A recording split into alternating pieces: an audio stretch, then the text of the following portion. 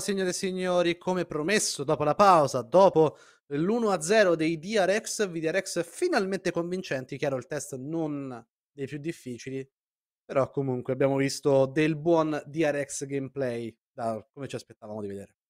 Assolutamente sì, è stata una partita molto, ehm, secca, a senso unico, trascinati dall'Arivai Duo, con una Felios che poi si è fatto recipiente di questo vantaggio e che ha portato da subito il suo contributo con quella splendida doppia in bot lane. Non c'è molto da dire in termini di draft, erano due draft molto simili, con 4 campioni a fare da enabler, forse più giusto dirne 3 nel caso degli Amo Life, che avevano anche una Zir da sfamare, oltre che la Jinx, per il resto, appunto, uno o due hyper carry, molto forti teamfight per ambedue le formazioni, un pochino più forte il grosso 5v5 frontale forse per gli Life, un pochino più l'enfasi sul pick-off in fase di gioco rotto per il duo Arivai, appunto, che doveva trovare il target isolato e andare a mettere la CC Chain. Per il resto, una partita appunto ben giocata dai DRX con gli Life che hanno pagato quel pick in più da sfamare. Infine sarà Zeka a prendere il POG. Abbiamo parlato anche di ottimi numeri per Deft, che ha raccolto un 9-3-2 di score con un danno molto alto, 26.000 danni su 32 minuti di partita, però effettivamente anche i nostri colleghi dalla Corea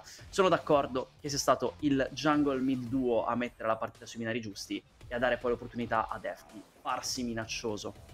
Sì, è stato comunque, come sempre, abbiamo detto, delle Ari stiamo vedendo nel CK con la, la maglia amorosa punta e clicca. Zeka non è stato uh, diverso, sostanzialmente in questo game il playmaker vero e proprio, l'initiator di moltissime delle azioni eh, di questa squadra. Si divide un po' i voti con eh, comunque Deft. C'è un voto anche per Pioshik che abbiamo citato essere veramente strepitoso. Se vi state chiedendo perché siamo già qua a parlare del POG alle 8.55 di questa mattinata è perché comunque eh, ci poteva essere questa settimana il rischio di tiebreaker, sono stati risolti tutti quanti in caso di parità come potremmo, anzi come dovremmo in teoria avere tra le tre squadre uh, tra quarta, quinta e sesta posizione si risolverebbe tutto quanto con i differenziali tra vittorie e sconfitte.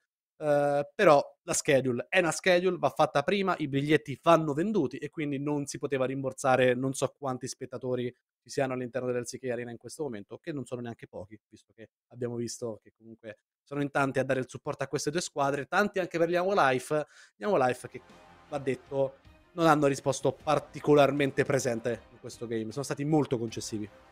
No, hanno soprattutto mancato l'occasione di cavalcare quell'ottima fase di corsia di Dudo, però d'altronde eh, si erano un pochino complicati la vita in draft. Effettivamente avere l'hyper carry in più da sfamare, avere anche per certi versi Dudu che per carità, è andato tutto bene e non ha avuto bisogno di richiedere supporto, però quello poteva essere virtualmente il terzo carry da supportare perché andasse online, quindi un po' eh, è questa l'identità degli Amo Life, è questo lo sappiamo, vogliono giocare comunque scaling, vogliono giocare cauti, non hanno nelle proprie corde un bel gioco tempo ritmato con tante call macroscopiche, tante cose da far accadere quanto prima, però ovviamente la vanno a pagare, questa loro inclinazione verso late game, soprattutto contro quelle squadre che hanno un pochino più di brio, un pochino più di idee sull'early game, specialmente quelle con quindi dei jungler forti e creativi come mm-hmm. Yoshi per l'appunto. Forse vanno anche a scontare un matchup non particolarmente facile, va detto. Stiamo live contro questi DRX.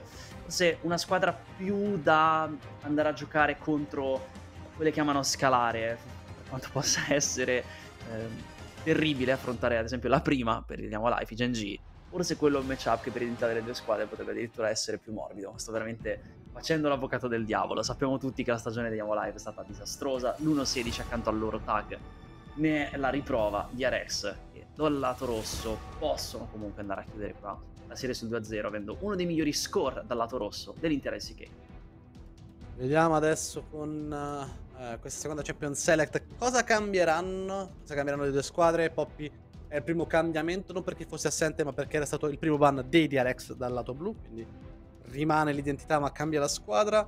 Gli Life avevano bannato tre campioni, eh, tre di Kerry, Kalista, Sivir e Zeri si cambia tanto perché va via Azir.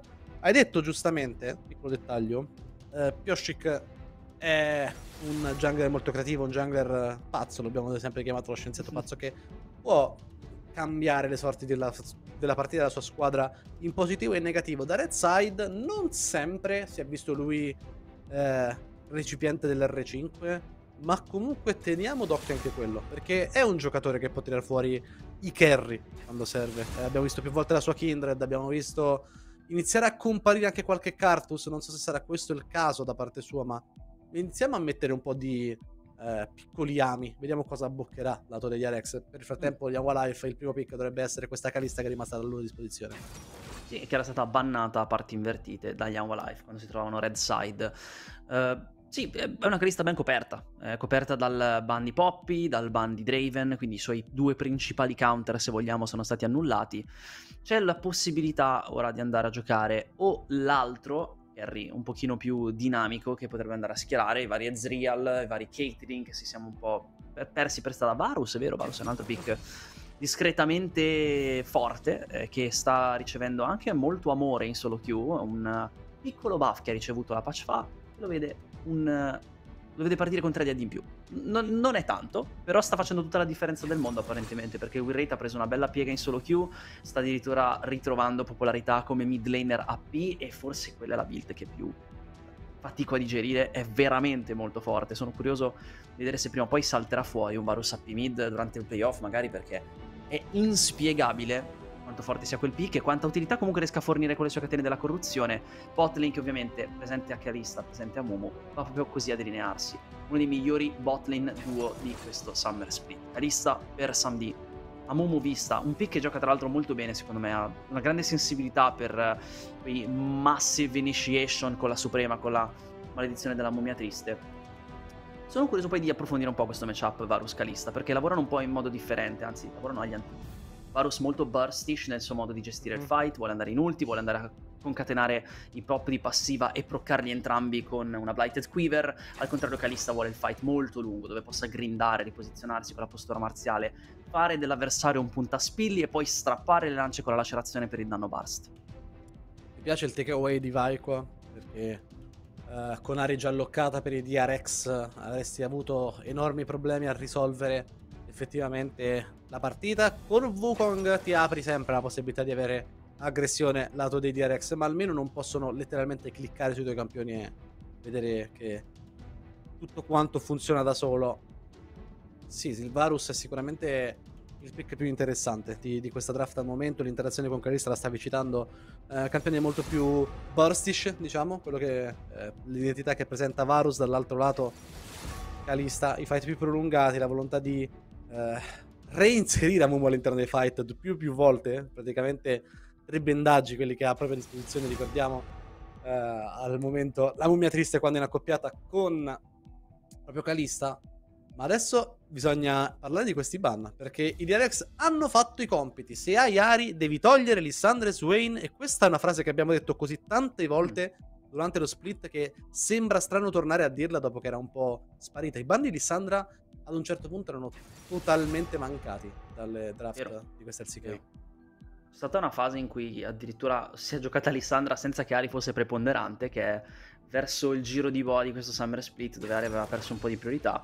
Siamo tornati a vedere un'Ari giustamente protetta con questi due ban. Tra l'altro non beneficia del miglior jungler possibile al suo fianco, non è presente Vai, hai detto bene. Geniale la soluzione degli Yama Life nell'andare a sottrarre quel pick probabilmente possono anche andare a investire nello skill matchup con una LeBlanc per Caris, possono andare comunque a darsi l'opportunità di essere loro aggressivi con quella vai.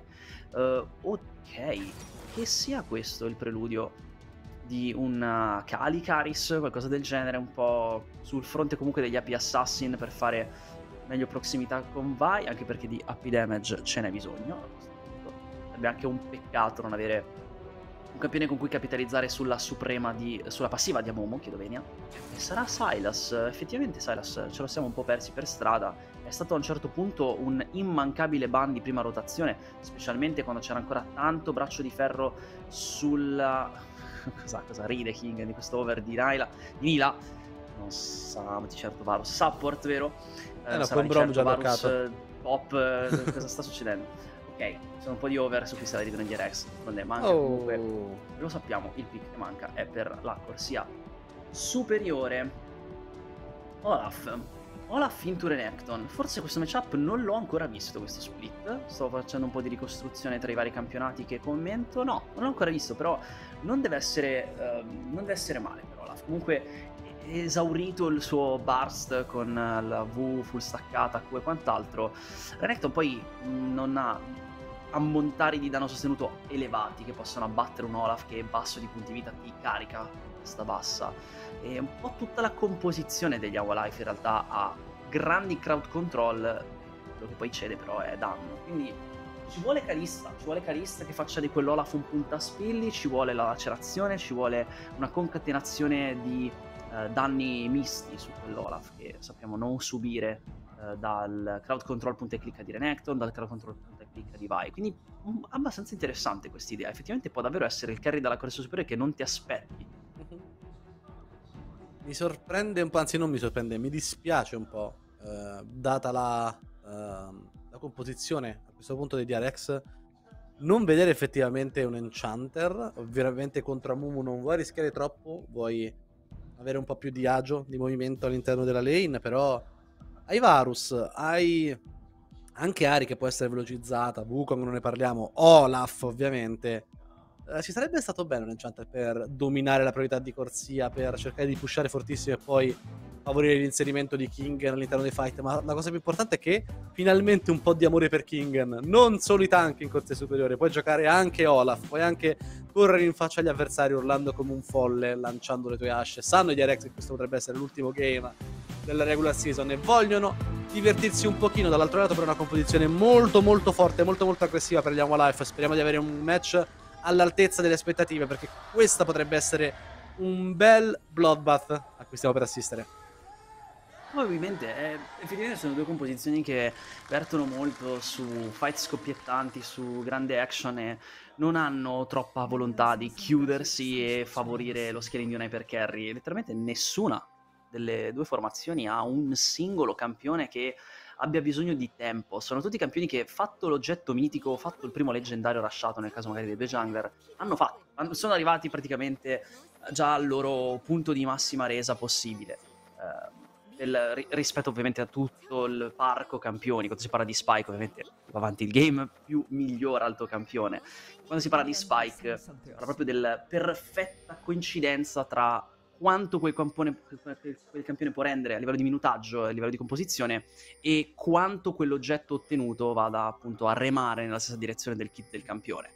E proprio perché sono tutti campioni molto forti e scoppiettanti già in early game, ottenuto il mitico per King, per Pioshi, per Zeka, ottenuto per Deft, per Beryl, hai fatto. Quindi grande lotta per il messaggero, per generare l'effetto valanga, per essere il primo a spingere quella pallina di neve in cima alla vallata e trasformarla appunto nella valanga. Non mi aspetto una partita con grande enfasi sui draghi e con piani lungo termine. Questa è una partita che può veramente finire in 18 minuti se fosse una partita di solo Q. Sì, veramente è molto molto volatile come game in generale, molto molto orientato allo snowball da un lato e dall'altro. Ingen abbiamo visto andare a piazzare Plume in profondità e andare a fare l'Olaf livello 1. Si va all in, non è gangplank, ma comunque può trovare questi trade prolungati fin da subito. Stacca addirittura il conquistatore. E prima che compaia la la statistica dei campioni giocati dai DRX, questo è il dodicesimo game di Zeka per Ari in Summer su 44 partite. Uh, veramente sono numeri spaventosi da one trick praticamente. Ha vissuto questo, questo split. Adesso voglio andare a recuperare anche la statistica dei campioni giocati in assoluto ma sono abbastanza sicuro che Ari sia il pick presente per il mid laner di questi DRX comunque oh, vediamo un attimo. Ok. Ingen potrebbe subire quell'inserimento di Onflick perché Comunque l'ondata non è nel posto più comodo del mondo. Molto aggressivo Olaf, ma poi non riesce a far crashare la wave. Si va a piantare in una posizione molto scomoda. Grazie della conferma. Nel frattempo Maonflick non riesce a trovare il gank e questo è quello che più interessa. Adesso vede, ovviamente, va in quella zona di mappa e Olaf potrà essere anche più libero. Vado comunque a recuperare le stat per curiosità. Te le do io se vuoi. visto che l'ho sotto mano. Stiamo parlando di un Zeka che ha giocato già 11 partite, aggiornato al game precedente, con un 54.5 di win rate e un 7.2 di KDA. Il secondo campione più giocato è il suo Azir, mm. con 42.9% di win rate, 7 partite giocate, 2.8 di KDA. Quindi è ampia la preferenza, è, è, è, più del doppio delle selezioni del suo terzo pick più utilizzato, che è un pari merito attaccare corchi. Quindi veramente una stagione per Zeka molto spesso su Ari. Guardando invece le statistiche dell'intero anno, rimane il più giocato con 16 presenze, Akali la seconda con 11, se andiamo a vedere la sua carriera in assoluto, si va più su quegli assassin di cui abbiamo parlato. Vari ha raggiunto la top 5, però la prima è LeBlanc, poi c'è Zoe, poi c'è Silas, poi c'è ovviamente Akali, uh, che è sempre stato il suo trademark, è sempre stato un po' il suo pick migliore di tanti giocatori nuovi o comunque meno nuovi arrivati in questo LCK. Akali è diventata trademark per un certo periodo, però parliamo di un mid laner che ha faticato a raggiungere, eh, anzi ha faticato a staccarsi dall'ultimo posto in passato, visto che starà con questi DRX. Ora occhio perché proprio lui potrebbe essere il bersaglio di interesse di Zeka. Ottimo il movimento attorno allo spaccaferro, attorno alla sua ondata. Riesce a non dover spendere neanche il proprio flash per poi continuare a farmare e a distaccare un po' in esperienza eh, il midlane avversario, oltre che in farm. Sono due wave di vantaggio. Caris ha fatto il livello 5 mentre Zeka lo aveva già da un po'. Questo può sembrare un, un, po' puntiglioso da parte mia. Adesso parliamo proprio della botlane, ma... Vediamo doppio bendaggio. Forse Brom riuscirà a resistere. Sì, alla fine è un trade. Non so se è vinto effettivamente DRX. Ma vista ha subito molti danni, ma... Ma no, vinto perché ne ha un'altra di pozione Beryl. E quindi ben contento di aver assorbito questo doppio bendaggio da parte dell'avversario sono le pozze per Sandy ancora presenti effettivamente mm. contro i biscotti per Deft, però è una fase di corsia che eh, abbiamo detto Varus Brom può assorbire abbastanza bene. Sono grande fan di Varus Brom, pensa che è una delle corsie che ho più, um, ho più rimpianto all'interno di questo Summer Split. Uh, mi ricordo quanto segnanti fossero state del meta 2021 questi due campioni e non averli visti praticamente per niente mi è spiaciuto molto. Pioshi che Onflick ancora le prese l'uno con l'altro, ma io nulla di fatto. Dicevo di quell'azione di Onflick, quell'azione di Onflick con Ari che ancora non ha livello 6, è veramente da secchiata d'acqua ghiacciata sulla nuca da parte del coach, perché non c'è alcun bisogno di andare a cercare la Kumax range, la cosa che insegnano ai jungler veramente apprendisti di bassissimo livello è avvicinarsi e non usare subito i flash o le abilità da gap closer, usarle in reazione al tentativo di movimento che inevitabilmente arriverà da parte dell'avversario. Lì si è dato proprio pochissime possibilità a Onflick di portare a termine quel gank andando a tirare la Kumax range. O cercare il predict forzato, non in competitive magari, però ah, effettivamente è una scelta molto, molto discutibile quella del jungler degli Life che non sta vivendo anche lui una stagione eccezionale. Abbiamo visto un buon primo game da parte sua fino a un certo punto, poi però ha dovuto cedere il passo rispetto ad un Pioshik che bene o male, nonostante un trade perso adesso nella sua giungla superiore, è più in salute rispetto al diretto avversario, sta farmando senza alcun problema, sta continuando a gironzolare per la mappa aspettando la possibilità di aggredire davvero e trovare facili ingressi. Dovrebbero riuscire a trovare comunque gli Life ora potenzialmente anche un drago, ma la cosa che preoccupa di questa questa superiore non è tanto che Renekton stia prendendo Ergo Granchio, è che Renekton sia costretto a prendere Ergo Granchio, perché Kingan lo vedete fermo sulla minimappa da qualche secondo ormai, da qualche minuto, stava congelando perfettamente l'ondata e ora sta facendo crashare una gigantesca wave, posso immaginare, nella metà campo avversaria. Sì, una wave intera di vantaggio, infatti anche a livello di farm, dando per scontato che si siano un po' palleggiati le ondate, questo è un cheater recall in piena regola per King, avrà tutto il tempo per tornare a piedi, non può andare al congelamento Dudu nella maniera più assoluta, sta gestendo molto bene, soprattutto se consideriamo che si è anche dato il checkpoint del mietitore, che uh-huh. sicuramente andrà a dare una bella mano a Olaf per rimanere relevant in termini di gold income. Molto cauti, ancora più del primo game, eh, entrambi me- i membri di entrambe le squadre, vista prova ad essere sempre quello aggressivo, vista Durante l'ultima stagione degli Life nel 2021, quando erano bene o male un super team, anche se poi non si era dimostrato così tanta all'altezza in Summer Split, era un po'. Si, si tesseva il paragone con Illisang per quello stile molto aggressivo. Il fatto di vederlo su Amumu ora eh, fa ben sperare per la partita degli Life, ma c'è anche bisogno di iniziare a premere un pochino, perché comunque è una Calista, hai una Mumu Potenzialmente hai un solo campione che può scalare bene nei fight ed è comunque un Silas. Sì. Silas che sappiamo essere ben contento anche di prendere parte alle schermaglie dall'ottenimento del suo Everfrost, e della sua zona magari, ecco. Fatto quello è perfettamente orientato verso il suo eh, approccio, verso la sua identità di initiator barra schermagliatore. È un campione molto completo che davvero può anche approcciare la partita un pochino più da carry giocando più safe, arrivando al terzo quarto oggetto, qui però sì, è altissimo il ritmo delle due squadre, sarà assolutamente richiesto a questo Silas di farsi vedere dalle parti del messaggero, Kingen è veramente pericoloso però in questa fase del game. Assolutamente sì. Prima di arrivare alla bot lane sarà Mumu, ma c'è già l'ingaggio. Dominus da parte di Dudu, che però lo costringe ad allontanarsi.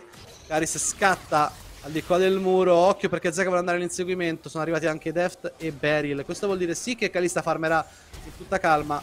Ma che è un 5 contro 4. Vista però Vista. trova una stupenda maledizione della mummia triste. C'è il Season Desist. Zeka costretto a flashare via. Ma flasha in anche Dudu. Deft però con la freccia penetrante riesce a trovare i suoi danni. Non avrà il mana per insistere. Ma sta apparecchiando la tavola affinché possa arrivare il barbaro a trovare l'uccisione nella doppia. Per Deft ancora una volta. Caris inseguito da Kingen non ha più il Ragnarok, non ha più la spettralità, basta il rallentamento di un Asha, ma Caris è molto rapido e sembra essere intenzionato ad allontanarsi, ecco il rallentamento, colpo di catena per aumentare ancora una volta la distanza, potrebbe esserci il regicidio, lo scudo salverà Kingen, serve il mana per un'ultima Q, non vuole correre alcun rischio il top laner di DRX, che raddano alla fine in eh, vantaggio, in quest'anzi in pari, visto che hanno ancora solo 0-0 su questo obiettivo, cancellano la conquista dell'obiettivo stesso per gli avversari, ma devono essere rimandati anche loro. Qua voglio il replay di vista però perché abbiamo detto può essere splendido in aggressione e l'ha fatto vedere. Ha trovato un angolo fantastico, anche senza disporre del flash, se ben visto, perché è andato semplicemente a connettere con un lancio della benda e trovandosi in una posizione perfetta per il 3-man ult. No, effettivamente ce l'ha dovuta mettere. Summoner è andato a trovare un ottimo angolo, però ne vale assolutamente la pena. Si tratta dell'initiation perfetta qui, senza neanche aver dovuto beneficiare della chiamata del fato per essere proiettato in avanti in modo un po' più comodo, in modo un pochino più punta e clicca. Skillshot a segno, doppia per deft, ottimo modo di condurre la schermaglia, peccato poi sia nulla di fatto la presa del messaggero quest'anno sono scambio drago per messaggero ma Forse si rendono conto che la partita che prometteva di essere esplosiva sta già andando un pochino più a vertere sul tema dei quattro draghi un late game, visto che non si stanno troppo sbottonando le due squadre. Questa è una FPL è una partita che sarebbe praticamente prossima alla fine, una partita che starebbe già avendo un chiaro vincitore, un chiaro vinto in LCK anche le comp un pochino più scoppiettanti e tempo based le vediamo giocare con cautela, le vediamo giocare con la garanzia di stare andando a parare da qualche parte, ecco, non di schermagliare per il gusto di farlo, per il gusto di prendere vantaggio. Tra l'altro adesso non possiamo ovviamente comunicare con gli observer, non possiamo chiedere di mostrarci i gold, ma quando stava iniziando quella schermaglia sul messaggero gli Arex erano praticamente 1000 gol di vantaggio. Solo dalle ondate, adesso si è molto appiattita la situazione. Zeka ancora una volta deve guardarsi da Caris e Onflick, costretto all'assalto spirituale, ma non ti interessa così tanto. Chelsea se desista, si allontana verso la propria torre Zeka, ma rispede dietro allo spaccaferro alla fine ha tirato un pochino troppo la corda qua questa giustiziata dall'intervento poliziesco di Onflick molto veloce a prendere questa decisione Onflick e va per il verso giusto. Non c'erano abbastanza istanze di Suprema, non c'era il flash, per cui Zeka non poteva andare a rintanarsi addirittura sotto la torre. Bella anche l'azione quasi da mini insec con il piccolo knock-up eh, andare a favorire l'inserimento per Caris con le sue catene. Davvero ben giocata, un uomo in più che purtroppo non può immediatamente tradursi nella presa di un obiettivo neutrale, ma che comunque va a impreziosire ancora una volta l'inventario di Onflick. Che arriva la motospada, così come arriva Caris al suo Everfrost. Va a matchare il mitico che anche Zeka dal regno dei morti è andato ad acquistare. Zeka comunque che grazie al lavoro eccellente fatto in early game mantiene un vantaggio di gold, si può vedere dall'inventario, c'è un sigillo scuro, c'è un eh, libro in più rispetto all'avversario, quindi era uno dei principali fautori di quel vantaggio di cui parlavamo uh, dell'early game di DRX, ora devono iniziare a rispettare gli avversari. Non è un vantaggio così gigantesco e Varus con quel scudo immortale tra poco immagino anche pugnale d'ira per lui. Avrà diciamo è il discorso che ho provato a fare un po' di tempo fa in passato con uh, Sivir e Zeri. Sono due campioni Kalista e Varus che buildano fondamentalmente allo stesso modo quindi per Varus mantenersi al passo di Kalista potrebbe voler, voler dire essere leggermente in vantaggio perché comunque Varus può lavorare meglio rispetto a Kalista in uno scenario ideale. Ed è un Varus che mh, mm, forse qui avrei voluto davvero tanto nella sua salsa da letalità. È sì. una composizione che il più coriaceo campione che ha forse alla lunga sarà Moon. Eh. Anche Renekton assolutamente se va per la solita build Gore Drinker, Sterak e non va per la Madre Rovina, sarà un campione abbastanza duro da buttare giù, però è... non è automatico che non vadano buttati giù da un Varus da letalità, assolutamente. Eh. La freccia penetrante poi andrà a fare veramente malissimo, specialmente quando va a trovare danno sulla missing health, sulla salute mancante. Quindi, non lo so, eh, questa scelta forse potrebbe dare qualche problemino a Deft nell'essere davvero efficace nel fare DPS più avanti. Eh, ha un campione dedicato per il peeling, effettivamente in Brom, ha anche un campione che prenderà tanto più focus per lui che è Olaf. Però chiudere rapidamente le kill su campioni che hanno tanto sustain come Renekton, come Silas, la vedevo veramente come un'ottima cosa. Praticamente non potevano stare a low HP, che è la zona di comfort di Renekton e Silas, perché si beccavano Blighted Quiver e scoppiavano Quindi sì, probabilmente il dubbio rimarrà, eh, rimane verosimile che la build da Isle of Blades e letalità sia la migliore, non per questo Deft farà poco danno o nessun danno.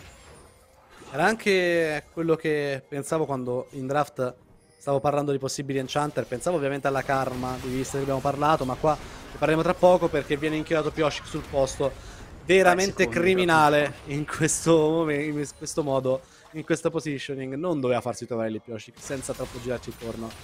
Giustiziato anche in questo caso da il terzetto degli Life veramente puntuale. Barry costretto al flash da un tentativo anche abbastanza timido di bendaggio da parte di Vista, ma Mette paura adesso. Ora Young Life possono provare ancora ad andare in avanti. Con Sam di Corredbuff si può far sentire. Kingen e Dudu iniziano a lanciarsi schiaffoni adesso in questa superiore, ma nulla di fatto. Kingen ha comprato il meditore e l'ha venduto. Ovviamente qualcosina in più. Kingen l'ha tradotto in termini di gold efficiency qui. Ed anche per quello che marcano stretto i DRX, nonostante siano sotto di due uccisioni. E in ballo il primo mattone. Può scombussolare un po' questa gerarchia economica. Bello il furtarello qui di Kingen. Altri 100 gold, giustamente, per lui. Uh, quelli del Gromp, un po' di sustain di cui non aveva bisogno. Ne aveva un po' più bisogno Dudu, ma sappiamo che troverà la guarigione anche sull'ondata. Adesso, replay del furto no, perché replay del suicidio fondamentalmente di Pioshi, che stava cercando un gank e invece è stato flancato lui. Non poteva fare altro, poteva provare a continuare a correre verso il blue buff, ma avrebbe dovuto contare su un uh, vista assopito perché mancasse un lancio della benda da così a distanza così ravvicinata, ma Drago che questo sì, uh, potrebbe iniziare a far pendere pesantemente la bilancia per una o per l'altra squadra, specialmente fosse il secondo Drago di fila per i DRX, sì. aprirebbe per loro uno scenario di maggiore cautela. Hanno il carry a questo punto un po' più longevo all'interno della partita, vista l'utilità che può fornire con le catene della corruzione e il fatto che generalmente, comunque, anche per la build da on-hit, quella chance di fare execute con la Blighted Fever, Varus la conserva. Kalista vuole sempre comunque tanto tempo per andare a staccare le lance, andare a fare danno. È un leggero vantaggio per il late game che ancora vado a personalmente a indicare per i DRX fossero addirittura capaci di prendere il secondo drago, poi ovviamente a maggior ragione. Occhio perché sta arrivando il coccodrillone, vogliono fare parino di questi DRX gli Life, ma non sarà facile, ora sono loro a prendersi l'aggro dell'obiettivo. Occhio puntati su Pioshik, ma anche su Karis che ha l'assalto spirituale, si fanno in avanti, ora vedono Silas all'interno del pit, Barry va immediatamente a prendersi cura del midlane avversario, Zeka si tuffa dentro, trova la connessione tutti i suoi controlli, ma l'amorosa gelo perenne, viene cancellato istantaneamente Caris il secondo metrista di vista, che trova anche l'execute sul midlane avversario, Pioshik però si tuffa dentro, vuole andare il seguimento di Samdi, riesce a boncarlo dal di là del muro, Dudu sta facendo un lavoro gigantesco ma non può salvarsi alla fine. Doppia uccisione per King. Non flick costretto ad allontanarsi dal pit Deft eh. che flasha in con la freccia penetrante con le stack di morsi del gelo sull'avversario. Trovano Drago trovano Ace di Arex. Deft cos'era quello? Quanto è forte sta combinazione, mi sono mancati Varus e Brown devo dire, mancava un po' di, di, questa, di questa salsa alla corsia inferiore troppo tempo a dormire su questi hyper carry. Quanto può fare Varus molto prima dei suoi colleghi, anche con la build on it, anche con la build che vede per ora soltanto un arco scudo nel suo inventario. Tremendo veicolo per i morsi del gelo, tremenda utilità che può andare ad apportare con le sue catene della corruzione. Spero che sia un ben tornato e che vedremo Varus anche al playoff, è veramente troppo, troppo cool da vedere 3 per 1 nel pit, poi ovviamente non può fare altro che scappare, ma l'abbiamo visto. Attacco che porta i morsi del gelo, chiude e poi la Blighted Quiver praticamente tappata e comunque guarda che danno riesce a portare. Questo di Varus è stato un pick che non hanno molto rispettato gli Life, anche perché i pick che dicevo prima vogliono stare low HP sono arrivati dopo, occhio qui Dudu. Adesso Dudu trova la manevrosa, Onflick che cerca l'ingaggio sul mid dell'avversario ma trova solo Pioshi chiamata nel fato addirittura da parte di SMD per ricacciare a sé vista. Caris ruba le catene della corruzione, quindi facciamo attenzione al Varus full AP di cui parlavi perché Caris sarà un testimone del potere di questa spela al momento che scala sul potere magico quindi farà malissimo visto che ha quei calzari del mago. Ora gli Arex però si pullano dietro una cortina di visione perfetta. C'è sono le catene della correzione, ma a trovare Onflick che flasha al di là del muro. Kingan in Ragnarok non può flashare per inseguire il jungle dell'avversario, ma può zonare tutti quanti gli Anwa Life che faticano addirittura ad avvicinarsi alla torre in corsa centrale. Gli Arex ora si sono messi al comando di questa partita. Sono tranquillamente al volante, potrebbero premere fortissimo su tutta la mappa. Addirittura hanno preso il messaggero e tra 25 secondi circa spawna il barone Nashor. Potrebbero, sì, potrebbero usarlo come diversivo, potrebbero crearsi ulteriormente spazio. Hanno una composizione anche molto forte in assedio. Hanno campioni che possono tranquillamente derivare le torri, come Olaf. Hanno campioni che possono fare dentro e fuori dalle torri, con una grande mobilità che hanno come Ari e Wukong. E hanno ovviamente il costante fuoco di copertura di un Varus dall'ampissima gittata con la sua Blight Quiver. Quindi sì, utilizzare questo messaggero dovrebbe essere piuttosto facile per i DRX, possono andare a aprire ovviamente una delle due side lane, visto che hanno già abbattuto la torre esterna in corsia centrale e hanno ancora la propria di torre in corsia centrale esterna up. Questo rappresenta un importante avamposto per andare a fare quel proverbiale tiro alla fune sulla mid che poi dà sbocco alle due parti di mappa, al fiume sia che vada verso top side che vada verso bot side. Quindi DRX con tante più opzioni, con una composizione che ha già raggiunto per molti campioni il vantaggio monetario di 1000 unità di gold sugli avversari, quindi si mette bene eh, con questi Draghe 0. Molto molto bene per uh, loro. Zeka non sta spiegando Ari, non sta giocando forse la migliore Ari che abbiamo visto, ma sta dando lezioni di skill shot agli avversari, non sta mancando una spella, è veramente incredibile. Qua Pioshik trova Onflick nel cespuglio, torre che cadrà per uh, DRX viene scambiata con quella che ha appena conquistato Olaf. Gli Life comunque si mantengono a galla. Il vantaggio economico c'è. Non è marcatissimo, sono 1500 unità d'oro. Abbiamo visto però tutti i gold fondamentalmente degli Life essere nelle saccocce di Onflick, che è quello che sta andando anche per la build più economica. A parte Mum, aveva se non sbaglio 1100 gold di vantaggio rispetto a Pioshik. Ma è una Vi off tank, anzi una Vi tank mm. senza off in questo caso, quindi sì, sì. non fortunatissimi. Eh, sì, non, non, sono neanche convintissimo sia ciò per cui vuoi andare. Eh, forse proprio perché hai un Olaf da buttare giù a tutti i costi, poteva farsi carico vai della build con Sandrer e poi beneficiare ancora di altro shred da parte di Renekton che quasi sempre va per una Black Cleaver dopo la Dead Dance o dopo la Sterak. Non abbassare il tiro, avere tutti questi campioni su delle build molto conservative rischia soltanto di fare il gioco di Olaf e Wukong che vogliono i trade estesi. Non non sono un grande fan delle soluzioni di build di Yamo Life. Già la draft è un pochino un suicidio per come poi si è delineata. Ho già rimarcato più volte come questi campioni che hanno nell'essere low HP la propria comfort zone si trovino malissimo quindi a giocare contro Varus che li executa da 30% HP quando sarà full build. Eh, aggiungere a questo problema il fatto di non avere gli strumenti per runnare down Olaf, per impedire a Olaf di runnarti down, può essere veramente ciò che comprometterà il teamfight degli Anwa Life e che consegnerà le chiavi del late game ai DRX. Prima che torni in base Caris, visto che già ha cancellato un recall. Ok, teletrasporto in questa centrale, non vuole tornare in base. Guarda quello di inventario, doppio Findish Codex per avere lo spike sull'ability Ace. Non ha ancora la classifica di Zonia, ha il cronografo, poi sanno comunque quelle statistiche che utilizza perfettamente Silas, quindi ha tutto il senso del mondo. E ora sono loro, Neon Life, a portarsi per primi sull'obiettivo. Ci sono le catene della corruzione nuovamente rubate dalla violazione di Caris. Occhio all'utilizzo della spell Malia Morosa che va larga stavolta per Zeka. Si muovono nel cespugli.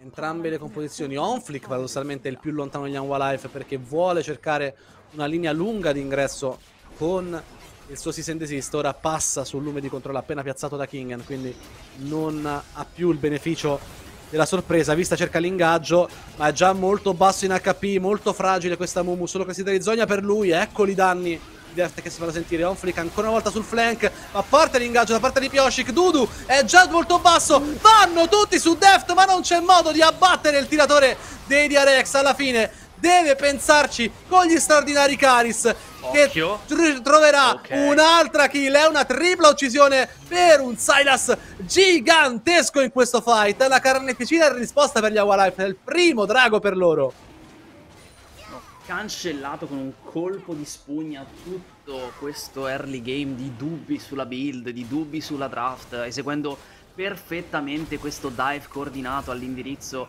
di Beryl, di Zeka, di Deft che voleva guadagnare una posizione sicura. Una backlane che però non è assolutamente sicura nel momento in cui ti fai così tanto avanti. Deft ci ha messo qui del suo, è arrivato perfettamente a range della concatenazione di lancio della benda e Curse of the Sad Mummy vista ancora una volta protagonista. Se arriva un lampo da parte degli Life è sempre per il suo playmaking, è sempre per il suo ruolo di initiator con questo Amomo. Addirittura ha rasciato Zonia, è anche stufo di perdere la vita nel momento in cui trova delle initiation così buone.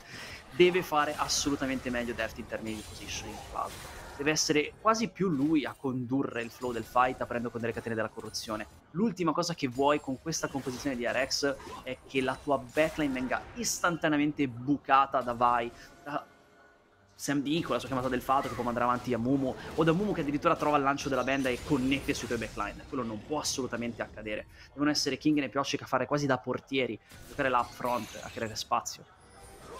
Qua ti tiro il più classico dei sono d'accordo ma Forse dopo che Beryl uh, rischierà l'aggressione, ok, no. Ma proprio di Beryl volevo parlare perché giustamente Deft si è fatto vedere molto in avanti e colpevole di questo. Ma Beryl deve fare peeling e senza vedere Onflick, potendoti aspettare l'ingaggio di Dudu di Onflick sul tuo AD carry, la scelta di lanciare così la frattura glaciale in avanti per fare follow up sull'ingaggio di Pioshik che non è servito a nulla, forse non la scelta più azzeccata all'interno di quel fight da parte del supporto di DRX che comunque sta facendo una buonissima partita. Eh, sta giocando veramente ottimamente. Questa nell'ultimo fight era la sua prima morte insieme a quella di Deft.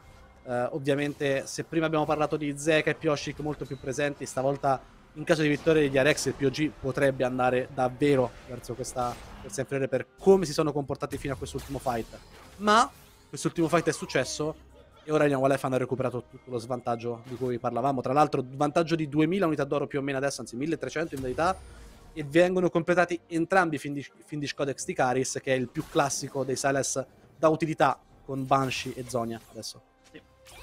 E stanno ancora andando verso quelle build low damage, high survivability, che sicuramente compensano il fatto che appunto Varus possa one-shottarli da una soglia di HP anche relativamente alta, però lasciano anche tanto controllo del flow del fight a Olaf e Wukong. Io spero che uh, alla fine la bilancia continua a, a ricalibrarsi, no? Quello che perdono in termini di danno lo comunque guadagnano in termini di techniques contro Varus. È un po' questo il, il, il pendolo stanno, su cui stanno viaggiando gli Awalife. Però qui sul Barone possiamo avere virtualmente la risoluzione della partita, soprattutto se i DRX riusciranno a sottrarlo in ultima battuta Molto lontano Zeka, ma il teletrasporto viene canalizzato in questo momento. E proprio in zona Caris, occhio a Onflick, nuovamente lungo sul flank, guarda Deft, terrorizzato, si allontana verso la wave in questa centrale, Kingan è l'unico che viene trovato, ma adesso che è partito l'ingaggio di Onflick, sanno che possono andare a giustiziare Vai e questo renderà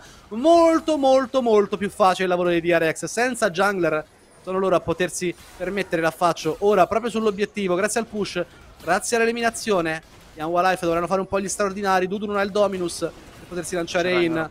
C'è il Ragnarok, non c'è il Ragnarok per Kingan, non c'è nessuno strumento se non vista ancora una volta per gli Life. C'è la chiamata del fato, proverà a tuffarsi dentro, troverà la munizione di un mia triste, ma trova anche lui! In qualche modo il barone Nashor ha fatto tutto vista in un modo o nell'altro. Ed ora Silas può attivarsi, possono mettere giù il DPS, lui, Caris e Sam D. No Com'è possibile? No ma sempre vista, ma com'è possibile? Ha 9 decimi di POG in tasca vista a questo punto. Addirittura lo steal del barone ancora una volta arriva nel pit. Nessuno dei campioni di DRX ha effettivamente un'abilità da knockback grossa per togliersi di dosso quella Momo e ogni ingaggio che Vista sta trovando si traduce in un fight vinto. La grande forza di questa coppia Momo-Calista sono proprio i tre tentativi che hai per arrivare nel cuore della formazione nemica. Stavolta lo fa direttamente di chiamata del fatto e va a connettere su 4 va a sventagliare oh. ed è la W, era in zona nel momento in cui ha, l'ha stittato il barone. Smite che porta 12 HP, tick del tantrum di Amumu che stila il barone. Qui non tanto merito di vista quanto più demerito assoluto dei DRX che hanno lanciato la monetina e che hanno fallito. Lo smite di Pioshik arrivato uh, non a 12 a 24 HP ma era, era sceso a, a, a 18, a 918 l'Eltra Regen l'ha riportata a 24, quindi ha aspettato quel tick per un auto-attack. Che è stata l'attesa di troppo, è stata veramente lancio di monetina, semmai ne ho visto uno in questo caso da parte di, di Pioshik. Sarebbe stato lo smite perfetto a 900 HP e non lo è stato. Non lo è stato per, per quella manciata, quelle briciole di salute che sono state, hai detto, prese dal Tantrum, dalla W, dalle lacrime di una mummia che non penso debba essere particolarmente triste per come si è messa la partita, per come ha messo lui la partita. È tutto merito di vista. E anche di Sam D che ce l'ha lanciata all'interno del fight. Se questo comunque è un game che adesso vede gli Life pushare con un vantaggio di 7.000 unità d'oro e con una Baron Powerplay di 6.000. È un vantaggio gigantesco per questa squadra. Ed è veramente difficile recuperarlo per il tipo di composizione che hanno i DRX. Hanno una composizione molto stat check, specialmente con Wukong Olaf che devono dettare il flow del fight in front, non hanno assolutamente possibilità ora di fare loro la voce grossa, devono subire il danno ingente che Yamolai fanno per questo vantaggio monetario. Potrebbe essere anche l'assedio definitivo questo se va giù Beryl. Vanno a forzare l'ingaggio, Beryl alza l'indistruttibile, deve flashare via, Kingen si muove sul flank, può camminare in faccia agli avversari, lo sappiamo, viene ingaggiato adesso lui, Caris rischia molto, c'è il ciclone, Dudu va ancora all'inserimento e Dudu potrebbe essere nuovamente lui che cade, vista molto lunga questa benda perché Zeka utilizza l'assalto spirituale, alla fine gli Life decidono che non vale la pena investire ulteriori risorse in questa zona di mappa, andranno verso il drago, lo prenderanno senza alcuna spesa ulteriore, tra 5 minuti potremmo avere il fight definitivo con l'inhibitor respawnato, con un altro Barone Nashor da andare a conquistare, soprattutto con il drago che porterebbe entrambi i team sul soul point, ma gli Life si presenteranno con 5.000 gold in più nei due carry. Sì è un bel po', è un bel po', soprattutto per composizioni che, l'abbiamo detto, fino alla nausea da quando siamo usciti dalla draft, hanno un'identità molto simile e che vuole essere l'identità di una tempo comp che aggredisce con grande ritmo. Oh.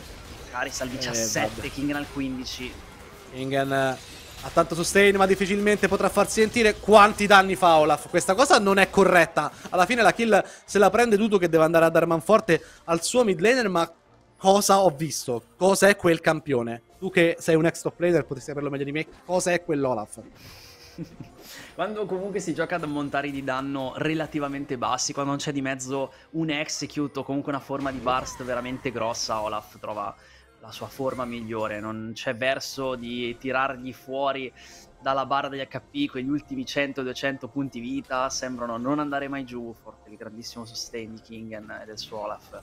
Qui è una composizione che almeno una forma di burst ce l'ha, grazie Calista alla sua lacerazione. Comunque è anche forte oh, che arriva bellissimo. Si sente desist nuovamente su Deft ed è game over per i DRX in questo game. Esecuzione facilissima degli Life. Vedono lo spiraglio, si lancia dentro Onflick, trova i controlli, Deft bloccato lì sul posto, non può fare nulla se non pregare che il game finisca presto. E Buone notizie, Left. Finirà veramente presto perché gli Life sono pronti a portare la serie a Game 3. A Game 3. Devo dire, anche basta far filtrare Kalista Mumu. Eh, lo sappiamo che è veramente troppo intuitivo il fight quando puoi beneficiare della gigantesca AOE della maledizione della mummia triste. Abbiamo anche un POG, penso, di riflesso ed è proprio vista che ha risolto la partita brillantemente per la sua squadra portandola a Game 3. Potremmo aspettarci qualcosina anche per Caris e chiuderà la partita 7-2-12, però il clutch factor, la giocata perfetta di vista, le giocate perfette di vista. Che giocatore, signori, che player che potrebbero avere in potenziale questi Anwa Life in più di un ruolo. Ma oggi la spiegano corsia centrale e support assolutamente. male. Eh, l'assenza di, di Samdi dal campo anche... Um, si è vista cosa ha causato a questo roster. Con un Samdi online sono tutta un'altra squadra, specialmente visto che hanno l'identità di squadra che vuole scalare, l'abbiamo detto in tutte le salse. Anche in questo caso era comunque Samdi uno dei più eh, agevolati nel portare danno sostenuto, ovviamente essendo un tiratore, anche se Calista è un campione che spike nell'early game, lo sappiamo, ha una fortissima fase di corsia, molto forte nelle prime skirmish e poi tende un po' a scadere. Qui, qui, qui, siamo di fronte a un game che è stato praticamente una eterna schermaglia da early game per l'identità che i 10 campioni portavano sul field. Quindi azione davvero indispensabile di DPS da parte di SMD, molto intelligente con le chiamate del fato a proiettare in avanti o a richiamare vista, bella sinergia tra i due, hanno veramente fatto un, un, lavoro indispensabile perché gli Life arrivassero a navigare l'early game e avessero poi anche chance di mettere il colpo del KO. Continuo a pensare che le build che si stavano dando agli Life fossero veramente un gioco molto pericoloso, perché sulla carta stavano dandosi gli strumenti per sopravvivere da Deft, ma stavano mancando di darsi il colpo del KO per quell'Olaf. Alla fine però hanno avuto ragione loro, troppo migliori gli ingaggi che hanno trovato con Onflick sempre presente sulla backline con il Season Resist, Vista che ha connesso sempre brillantemente con delle 3 or 4 man Curse of the Sad Mummy. Partita davvero bella degli Awa, non c'è nulla da dire. DRX un pochino sornioni su questo Red Side. E devo dire, in ottica playoff, spero che questa condotta del Red Side un pochettino cambi, perché se in best of 3 e parti da blue side ne devi scontare solo una di partita dall'altra parte, nell'ambito di una best of 5 devi avere qualche arma in più, non puoi vivere in autopilot il red side e sperimentare, provare, sbagliare e poi passare semplicemente a vincere dal blu. Ci vuole qualcosina in più e spero che i DRX uh, ci abbiano davvero provato, non fosse una partita un po' sottotono ovviamente c'era poco da poter raccontare a questi splendidi ingaggi di vista. Ha reso la partita super facile da leggere per quanto riguarda l'esecuzione del teamfight. Tra l'altro, uh, a proposito di DRX e di playoff e della loro stagione, 22 a 22 tra vittorie e sconfitte dopo questo singolo game. Un'ultima partita per decidere se chiuderanno in positivo o in negativo e ironia della sorte, sono a rischio di chiudere in negativo perdendo contro l'ultima della classe. Eh, non hanno mai perso contro le squadre che non sono andate ai playoff. La prima volta potrebbe essere che, quella che veramente li porta con il morale sotto le scarpe. Qua, di nuovo, guarda il sustain. 18, 24, smite e 24. Veramente sfortunatissimi di Arex. Ma il lavoro fatto da vista è stato spaventoso. Anche solo la stasi per rimanere in vita all'interno del fight. È un tasto premuto. È una giocata non difficile dal punto di vista meccanico, ma Clutch Factor semmai ne abbiamo visto uno, mentre qua la facile esecuzione dell'ultimo fight che porta appunto la firma sull'1-1 e porterà a Game 3 questa serie che comunque è una serie abbastanza al di sopra delle aspettative, dai. Devo dire di sì, con questo secondo game è ufficialmente al di sopra delle aspettative. Poi è stato stomp anche per il game di Rex, ci saremmo messi il cuore in pace, era anche quello che ci aspettavamo dalla serie, però importante vedere anche un piccolo moto d'orgoglio da parte Anwa Live, sicuramente farà piacere alla tifosa che aveva una costellazione di biglietti di partite degli Anwa sul suo cartellone. Speriamo anche di vedere però dei DRX che non lasciano correre, che vadano a confermare il pronostico della vigilia, quello dei favoriti, visto che sono sesta squadra della LCK e quindi ai playoff contro l'ultima e eh, tra l'altro sull'orlo di uno dei peggiori record della storia del LCK, gli Life. Sì, eh, veramente c'è bisogno per questi DRX di tirare un po' a rimi in barca, iniziare a fare un po' di analisi, di autoanalisi soprattutto perché sono la peggior squadra di questi playoff al momento, lo stanno purtroppo dando, eh, ne stanno dando dimostrazione, vedremo come si risolverà la serie, tra poco abbiamo il game 3, tra poco si torna per DRX contro Anwa Life, probabilmente anche in quest'ordine in draft, vedremo come andrà, non mancate.